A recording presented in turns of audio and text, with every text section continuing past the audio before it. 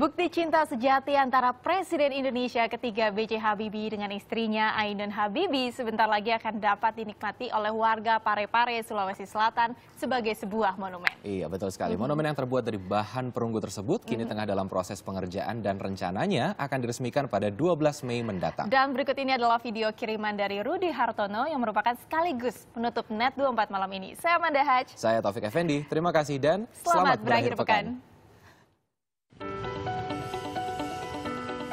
Monumen Cinta Habibie Ainun yang berada di sudut lapangan Andi Makassau, Kota Parepare, Sulawesi Selatan, hingga saat ini masih dalam proses pengerjaan.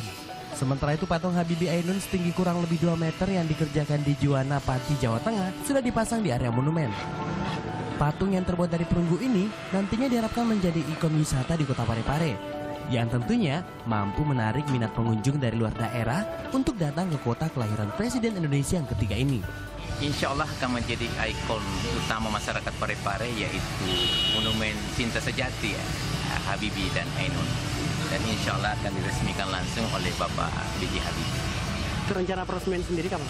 Ya insya Allah mudah-mudahan tidak ada halangan rencana diresmikan pada tanggal 12 malam hari yaitu pukul 19.30. Ini prosesnya ini berapa hari nih Pak patung ini?